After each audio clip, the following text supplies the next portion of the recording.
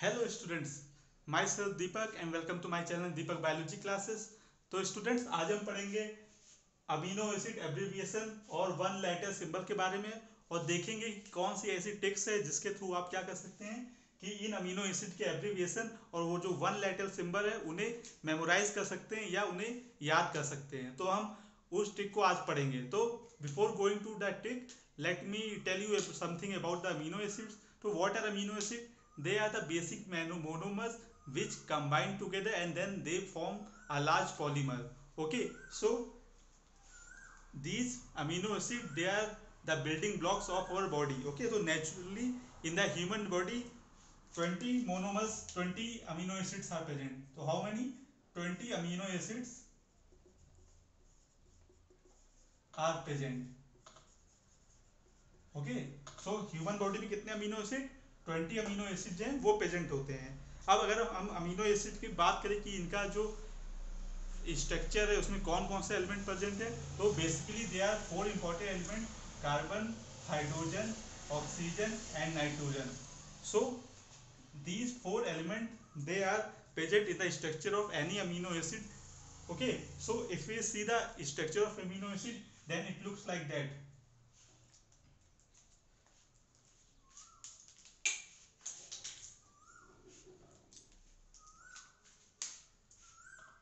is the amino group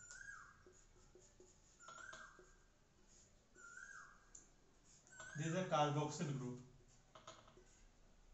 then this is a side chain L. so this is the basic structure of amino acid so it comprises of the central carbon atom through which it is having the four valency 1 2 3 4 so with the four valency it is attached some other molecules also like this is R it is side chain okay it may be alkyl group like CH3 or CH3 CH2 any group okay so this is a hydrogen atom this is a carboxyl group carboxyl group and this is amino group okay so in any amino acid structure you will find amino group, carboxy group, or the side chain. Okay, this side chain may be methyl or may be it is ethyl. Okay, methyl or we can say it may be ethyl. Okay, so it depends on the structure of amino acid. Like the basic amino acid, they are having more and more side chains. Okay, so this is the structure. So these amino acid how they join these amino acid they join together by the help of bond which is called the peptide bond Okay, so with the help of peptide bond, two amino acids join together. Okay, so how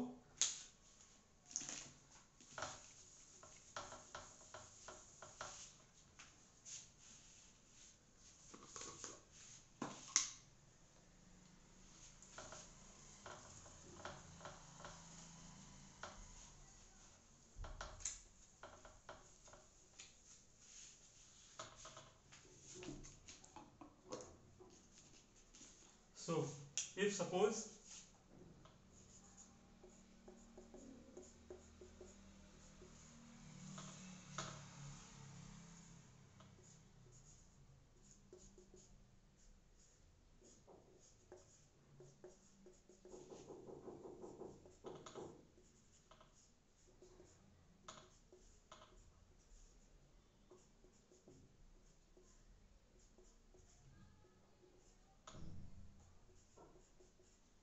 suppose this is two amino acid and then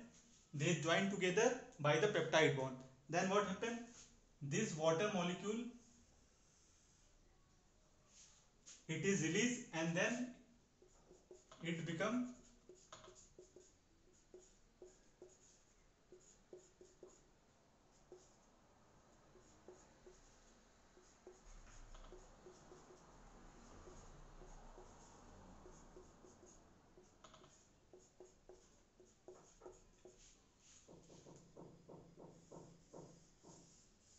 So this structure is called the peptide bond. Okay.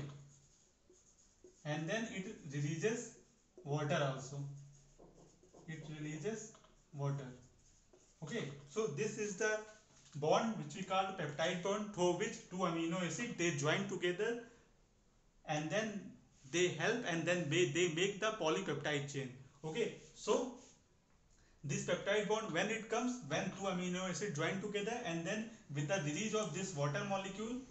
this water molecule they join together and then they form peptide bond and like that multiple amino acid they join together and then they form a polymer chain or we can say the polypeptide chain okay so this is, is the basic of some amino acid like how they join together and how many amino acids are present and how they make polypeptide chain. Okay, so if we take an example, like if suppose this is a messenger RNA, okay, so it code some specific codons. For example, if we take AUG, UUU or GGG, okay, so this AUG is specific for methionine. Okay, it code methionine. This uracil it form phenylalanine this ggg it form glycine okay so these amino acid or we can say these codon they specify or we can say they code specific amino acid like the methionine phenylalanine glycine like that it forms all the 20 amino acid and then it makes a polypeptide chain okay polypeptide chain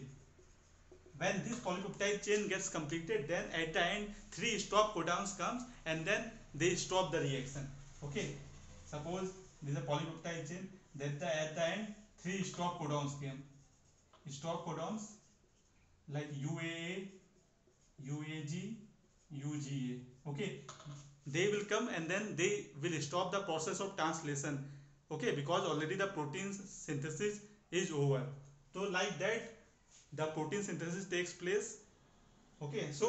now we will discuss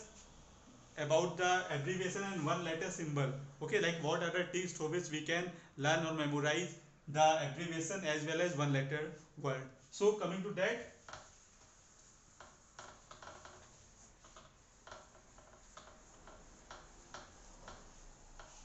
so first of all we will write the abbreviation okay so normally जो first three letter होते हैं ना किसी भी amino acid के नाम में जो फर्स्ट थ्री लेटर होते हैं जनरली वही क्या होते हैं उसका एब्रीवेशन इसमें क्या है alanine A L A okay so we can write A L A जो एब्रीवेशन होगा वो सिर्फ थ्री लेटर होगा फर्स्ट थ्री लेटर का ही लेकिन इसमें कुछ एक्सेप्शन हैं वो हम लोग बाद में डिस्कस करेंगे तो सबसे पहले जो नॉर्मल अमीनो एसिड है और उसका जो एब्रीवेशन है हम लोग जो फर्स्ट थ्री लेटर की बेस पे करेंगे ठीक है तो इसमें क्या है A L A next arginine okay A R G asparagine थोड़ा कॉम्प्लेक्स है हम बताएंगे इसको क्या टेक्निक है क्या ट्रिक है ठीक है then aspartic acid A S P then cysteine C Y S glutamic acid G L U glutamine trick है glycine G L Y histidine H I S isoleucine है leucine L E e U lysine L Y S methionine M E T phenylalanine फी P H E proline P R O serine S C R threonine T H R tryptophan T R Y tyrosine T Y R valine V so हम लोगों ने क्या किया जो first three letter जैसे आपने देखे होंगे alanine arginine aspartic acid cysteine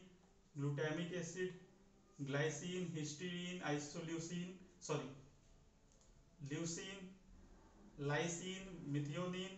phenylalanine proline serine threonine tryptophan tyrosine valine okay तो इसमें देखा जैसे आपने कि जितने भी फर्स्ट थ्री लेटर जो हैं वही उसका एब्रीवेशन है ओके एलादीन में ए एल एलानिन अर्जिनिन में ए आ जाएगी ऐसे करके देखिए जो फर्स्ट थ्री लेटर है वही क्या है उसका एब्रीवेशन है लेकिन इसमें कुछ एक्सेप्शन है जैसे एस्पराजीन ओके तो एस्पराजीन में क्या है कि इसका अगर ए एस पी नहीं लिख सकते क्योंकि ऑलरेडी जो एस्पार्टिक एसिड है उसका उन्होंने ए एस पी लिखा है यानी कि उसका जो एब्रीवेशन है वो ऑलरेडी ए एस पी है तो इसमें हम लोग क्या करते हैं पूरा जो ये वर्ड है उसमें से राइट हैंड से सेकंड वाला जो लेटर है उसे पिकअप करते हैं तो ये क्या बन जाएगा A S N right right hand side से second letter okay then glutamine में भी सेम जी एल एन क्योंकि इसका भी ग्लूटामिक एसिड ऑलरेडी हम लोग जी एल यू लिख चुके हैं तो दोबारा ग्लूटामिन को रिप्रेजेंट करने के लिए हम लोग जी एल यू नहीं लिख सकते हैं इसीलिए हम लोगों ने क्या किया जो पूरा वर्ड है ग्लूटामिन उससे जो राइट हैंड साइड से सेकेंड जो लेटर है ओके उसका एन जो है इसमें ऐड कर दे तो ये क्या बना ग्लूटामिन जी एल एन वही आइसोल्यूसिन आई सोल्यूशन में क्या करेंगे हम लोग जो फर्स्ट लेटर लेंगे आई उसके बाद ल्यूसिन ओके लेकिन इसमें तीन ही लेटर आने चाहिए नहीं कि चार इसमें अब देखिए ल्यूसिन अगर लिखते हैं तो एल ई यू लिखेंगे तो वो बन जाएगा ल्यूसिन एल ई यू तो इसके लिए हम लोग क्या करेंगे एक लेटर जो आइसो का ले लेंगे और बाकी का दो लेटर जो है वो ल्यूसिन से लेंगे ओके तो ये क्या बनेगा आई आई एल ई अंडरस्टूड ना so I and then L E तो ये कितना बन गया थ्री लेटर हो गया तो आप देखिए सब में थ्री लेटर है ओके थ्री लेटर है ओके okay, तो ये एक ट्रिक है एब्रीविएशन की जिसमें आपको फर्स्ट थ्री लेटर लेने मैक्सिमम अमीनो एसिड्स के लेकिन यहाँ थ्री अमीनो एसिड्स में एक्सेप्शन है जैसे एस्पराजीन में आपको ए एस और बाद में राइट हैंड साइड से सेकंड लेटर लेना है तो एस्पराजीन हो जाएगा क्योंकि आप एस्पार्टिक एसिड का ऑलरेडी ए एस पी लिख चुके हैं तो दोबारा आप ए एस पी वन या टू नहीं लिख सकते हैं इसलिए हम लोगों ने क्या किया राइट हैंड साइड से सेकेंड लेटर लिया है एन तो एस्पराजिन सिमिलर केस फिर glutamine also and in case of isoleucine we have taken I as as first letter and the remaining L E as the second and third letter तो it become isoleucine okay तो ये तो हो गया कि abbreviation के लिए कि कैसे आप एब्रीविएशन को याद कर सकते हैं या कैसे उसे लिख सकते हैं बिना कोई रट्टा मारे या कुछ करे पर एक बार आपको समझना है और आप ये कर सकते हैं अब हम बात करते हैं वन लेटर सिंबल की ओके तो वन लेटर सिंबल तो इसको याद करने के लिए सबसे पहले वही चीज़ देख लेते हैं हम लोग जो नॉर्मल अमीनो एसिड है उनका जो नॉर्मल लेटर है जो उसका जो वर्ड है उसका जो फर्स्ट लेटर है वही उसका क्या है वन लेटर सिंबल है तो पहले हम उसे लिख लेते हैं उन अमीनो एसिड्स का तो एलानीन का ए नहीं exception asparagine aspartate cysteine cysteine C glutamic acid नहीं ग्लूटामिन नहीं glycine histidine isoleucine leucine lysine exception methionine phenylalanine exception proline serine threonine और वैलिन ओके तो ये जो अमीनो एसिड है इनका जो वर्ड है या उनका जो पूरा नाम है उसका जो फर्स्ट लेटर है उससे हम लोगों ने क्या किया वन लेटर सिंबल बना दिया जैसे अलादीन का ए सिस्टीन का सी ग्लाइसिन का जी हिस्टिडिन का एच आइसोल्यूसिन का आई ल्यूसिन का एल मिथियोनिन का एम प्रोलिन का पी सेरिन का एस थ्रेनिन का टी और वैलिन का वी तो अब बात करते हैं हम लोग बचे हुए जो अमीनो एसिड्स हैं उनका वन लेटर सिंबल को हम लोग कैसे मेमोराइज करेंगे या कैसे जो है किस ट्रिक से हम उसे याद कर सकते हैं तो सबसे पहले बात करते हैं अजनीन की तो जैसे आप अजनीन प्रनाउंस कर रहे हैं तो इसमें आर का जो साउंड है वो आ रहा है आर आर्जनीन अर्जनीन तो आर का जो साउंड है वो आ रहा है तो इसका वन लेटर क्या हो जाएगा आर अंडरस्टूड ना अर्जनीन जैसे आप प्रोनाउंस करेंगे तो आपके मतलब कि जैसे आप प्रोनाउंस करेंगे तो आपको फीलिंग आएगा कि मुंह से जो है वो साउंड आर का आ रहा है आर जनीन आर आ रहा है ना तो इसीलिए हम लोग आर लिख लेंगे अब बात करते हैं एस्पराजीन का तो एस्पराजीन को याद रखने के लिए आपको एक फिल्म एक्ट्रेस का नाम आप याद रख सकते हैं जैसे कि जो कि गजनी मूवी आपने देखी हुई उसमें आसिन थी आसिम थी ना तो हम लोग इसमें क्या करेंगे अब आसिम के नाम से एस्परजीन याद करेंगे तो इसमें जो लास्ट लेटर है आसिम के नाम में एन तो वही क्या हो गया इसका सिंबल हो गया एन एस्परजीन राइट अब बात करेंगे हम एस्पार्टिक एसिड की तो एस्पार्टिक एसिड का के लिए आपको एक वर्ड याद करना पड़ेगा ग्लू ओके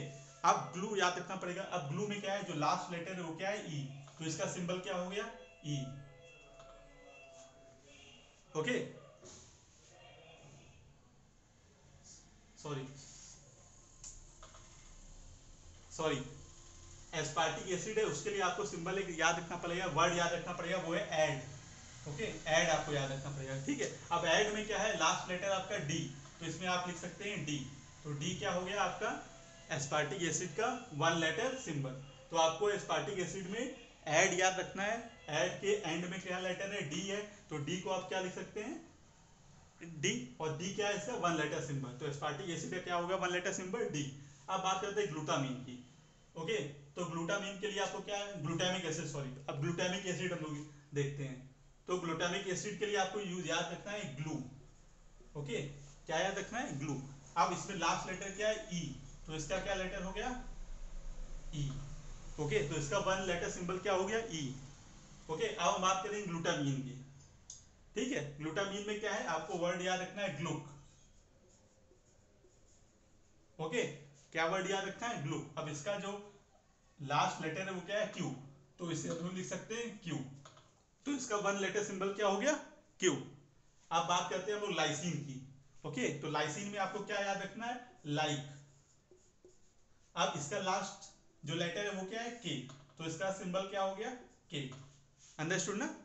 अब हम बात करते हैं फिनाइल अलानिन तो फिनाइल अलानिन को याद करने के लिए कोई लेटर की जरूरत नहीं आप जैसे इसको प्रोनाउंस करेंगे वैसे ही क्या होगा आपको पता चल जाएगा कि इसका जो वन लेटर सिंबल है वो क्या है तो फिनाइल अलानिन का क्या है एफ जब आप प्रोनाउंस करते हैं फिनाइल तो एफ का साउंड निकल रहा है तो यहाँ पे हम लोग क्या लिख सकते हैं फिनाइल अलानिन के लिए एफ अंडरस्टूड अब बात करते हैं ट्रिप्टोफैन तो ट्रिप्टोफैन के लिए आपको एक वर्ड याद रखना पड़ेगा थ्रो ओके अब थ्रो में जो लास्ट लेटर है वो क्या है डब्लू तो इसका सिंबल क्या हो गया डब्लू ओके अब हम बात करेंगे टायरोसिन की ओके तो टायरोसिन के लिए आपको टाई याद रखना पड़ेगा टाई जो किसके नाम पे ही मैच कर रहा है ठीक है अब आपको इसमें जो लास्ट लेटर है वो क्या है वाई तो इसका सिंबल क्या हो गया वाई तो देखिए ये एक ट्रिक थी जिससे आप जितने भी अमीनो एसिड हैं सबका एब्रीविएशन और साथ ही साथ जो उसका वन लेटर सिंबल है वो याद रख सकते हैं तो एक बार मैं वन लेटर सिंबल और आपको बता दूं तो एस्पराजीन के लिए आपको आसिन जो कि एक गजनी मूवी में जो एक्ट्रेस थी साउथ इंडियन की वो उसका नाम है तो उसका नाम क्या है आसिन जिसका लास्ट लेटर आपको सब में लास्ट लेटर याद रखना है तो एन था तो इसका अमीनो वन लेटर सिंबल क्या हो गया एन वही बात करते हैं एस्पार्टिक एसिड का तो इसके लिए आपको एक एड यानी कि सम ये टर्म जो है वो याद रखना है एड तो इसका लास्ट लेटर क्या है डी तो आप इसमें क्या लिख सकते हैं डी वन लेटर सिंबल क्या इसका हो गया डी अब बात लेते हैं ग्लूटामिक एसिड के तो ग्लूटेमिक एसिड के लिए आपको ग्लू याद रखना है ठीक ग्लू में जो लास्ट लेटर है वो क्या है ई e. तो इसका वन लेटर सिंबल क्या हो गया ई e. अब ग्लूटामिन की बात करते हैं तो ग्लूटामिन के लिए आपको ग्लूक याद रखना है ग्लूक तो इसका लास्ट सिंबल क्या है या लास्ट लेटर क्या है क्यू तो इसका सिंबल क्या हो गया क्यू अब बात करते हैं लाइसिन लाइसिन के लिए आपको क्या याद रखना है लाइक ये वर्ड याद रखना है लाइक में जो लास्ट सिंबल है वो क्या है के तो इसका जो वन लेटर सिंबल हो गया वो क्या हो गया के अब बात करते हैं हम लोग टिप्टोफेन की तो टिप्टोफेन में जो वर्ड है वो क्या है थ्रो ओके तो इसका लास्ट लेटर क्या है डब्लू तो इसका वन लेटर सिंबल क्या हो गया डब्लू अब बात करें टायरोसिन तो टायरोसिन में क्या है टाई ओके जो वर्ड है वो टाई इसका लास्ट लेटर क्या है वाई तो इसका जो वन लेटर सिंबल है वो क्या हो जाएगा वाई तो दोस्तों ये एक स्मॉल सी टिक सी जिससे आप किसी भी अमीनो एसिड जो भी ट्वेंटी अमीनो एसिड जो भी ह्यूमस में प्रेजेंट है उन सबका जो एब्रीवेशन है और जो वन लेटर सिंबल है वो आप याद कर सकते हैं और अगर आपने इस ट्रिक से याद किया तो मेरी गारंटी है कि आप कभी भी जो अमीनो एसिड का एब्रीवेशन है और जो वन लेटर सिंबल है वो आप कभी नहीं भूलेंगे सो so, फ्रेंड्स मेरा ये वीडियो यहीं पे फिनिश होता है तो अगर आपको वीडियो अच्छा लगा हो तो वीडियो को लाइक ज़रूर करें अगर आप मेरे चैनल पर नए हैं तो चैनल को सब्सक्राइब करना ना भूलें थैंक यू वंदे मातर